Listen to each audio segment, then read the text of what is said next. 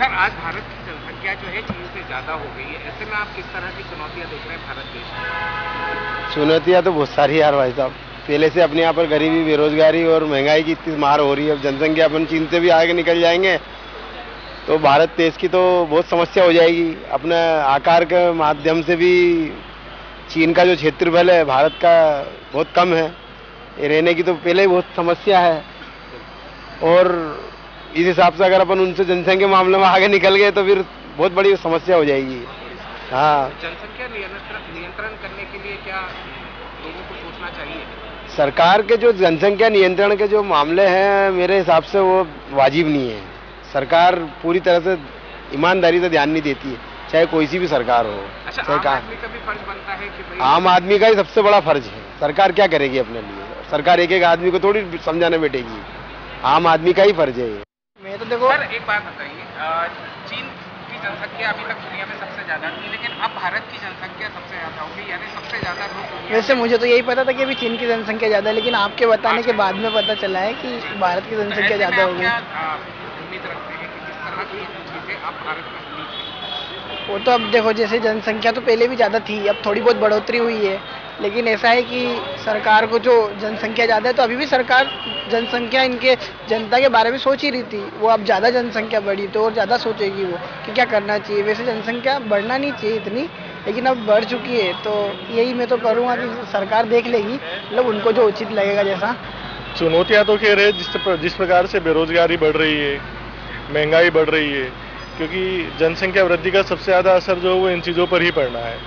But उसके साथ साथ हमको थोड़ा सा पॉजिटिव अप्रोच भी लेना पड़ेगा कि जिस तरह से चीन आत्मनिर्भर बना हर छोटी छोटी चीज़ वहाँ पर घरों में बनती है और वो लोग एक्सपोर्ट करते हैं। अगर उसी तरह की चीज़ें हमारे यहाँ बनती हैं और हम लोग उस चीज़ को एक्सपोर्ट करने लग जाएँ तो हो सकता है कि ये जो पॉपुलेशन बढ़ रही है, ये कहीं ना कहीं हमारे लिए फ़ायदेमंद भी हो सकती है। सर एक पॉइंट और है कि पॉपुलेशन जो एक्सपोर्ट कहा जा सकता है, उसके ऊपर कंट्रोल करने के लिए भी ध्यान देने एजुकेशन बहुत ज़्यादा ज़रूरी है। जैसे सेक्स एजुकेशन हमारे यहाँ कहीं भी कंपलसरी नहीं है। अगर उनको और खासकर जो छोटी लोकेशंस होती है रूरल एरिया होते हैं, अगर वहाँ सेक्स एजुकेशन को कंपलसरी कर दिया जाए तो डेफिनेटली इन चीज़ों पे बहुत जल्दी असर होगा और विस्फोटक जो अभी हो रहा है, ऐसा नहीं कि जनसंख्या वृद्धि नहीं होगी, लेकिन वो धीरे धीरे कम होना लग जाएगी। ये बात हम मानते हैं कि चाइना की हम लोगों ने रिकॉर्ड तोड़ दिया है जनसंख्या के मामले मामले में, पर मैं एक बात और बोलना चाहूँगा कि बेरोजगारी के मामले में हम उनका रिकॉर्ड तोड़े, टेक्नोलॉजी के मामले में हम रिकॉर्ड तोड़े, धान के जो फ़सल उगाते हैं वहाँ के किसान, उसके मामले में हम रिकॉर्ड तोड़े, क्योंकि वहाँ पर किसान जो है, अपनी खेती के काम करने के अलावा भी इलेक्ट्रॉनिक, इलेक्ट्रिक आइटम बनाता है। तो यहाँ पर सरकार को ऐसे रोज़गार लगाना चाहिए, उनसे अपने को मुकाबला करना है। उनसे अपन लोगों ने मुकाबला, जनसंख्या में तो अपन जीत गए, उनसे आगे हो गए। पर इतने काम धंधे के लिए और ये सब बढ़ाने के लिए हम लोगों को प्रयास करना चाहिए, हमारी सरकार को प्रयास करना चाहिए। बढ़ गई है, हम विश्व में नंबर वन हो गए हैं। आज जितनी भी समस्याएँ हैं, भारत फेस कर रहा है, उसमें सबसे बड़ी समस्या जो है प्रदूषण की, जनसंख्या प्रदूषण की है। हमारे यहाँ अनेक प्रकार के प्रदूषण हैं।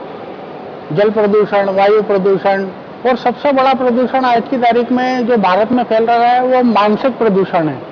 इतने लोगों का खान खाना पीना उत्पन्न करना, उनको मैनेज करना, उनके मल मूत्र का निस्तारण करना, और इन सब के ऊपर जो भारत सबसे ज़्यादा आने वाले समय में फेस करेगा, वो जन मानसिक प्रदूषण को फेस करेगा। क्योंकि जो मानसिक प्रदूषण है डब्ल्यूएचओ की रिपोर्ट कहती है कि वो हमारे देश में 50 से 60 परसेंट लोगों को है। तो ऐसे भारत सरकार जब तक इस पर कोई ठोस कानून नहीं लाती ये मैनेज नहीं हो पाएगा और हम सब लोग इससे पीड़ित रहेंगे।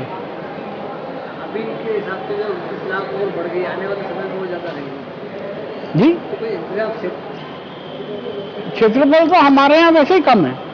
आप दूसरे देशों की तुलना करें तो उससे तो क्षेत्रफल हम वैसे ही कम से कम क्षेत्रफल में रह रहे हैं। चीन और भारत की क्षेत्रफल की दृष्टि से देखें तो इंडिया का जो क्षेत्रफल है, चाइना का क्षेत्रफल उससे कई गुना ज़्यादा है।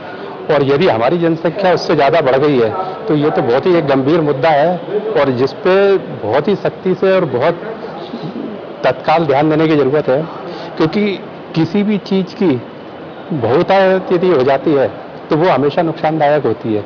और स्पेशली यदि जनसंख्या के मामले में अपन देखें तो यदि जनसंख्या बढ़ती जाती है तो ये हर दृष्टि से अपने लिए, अपने देश के लिए, सभी के लिए और अपने समाज के लिए, हर चीज़ के लिए हानिकारक है। इवन हमारे यहाँ के जो जंगल हैं, सब चीज़ों के लिए हानिकारक है, क्योंकि जैसे जैसे जनसंख्या बढ़ती जाती है वैसे वैसे पशु पक्षियों और सभी के रहने की जगह कम होती जाती है, संसाधनों की दिक्कत होती जाती है।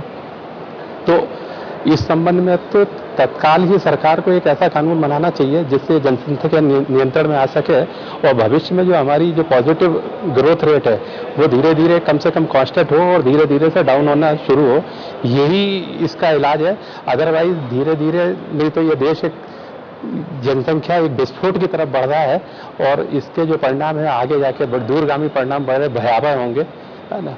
तो यही मेरा इसमें सजेशन है कि इसको तत्काल नोटिस में लेके और इसको हाईएस्ट प्रायोरिटी पे इस पर काम करना चाहिए हम सबको मिलके और लोगों में भी इसकी जागरूकता फैलाना चाहिए।